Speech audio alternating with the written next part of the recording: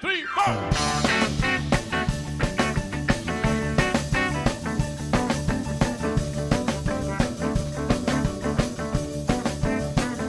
Well, she was just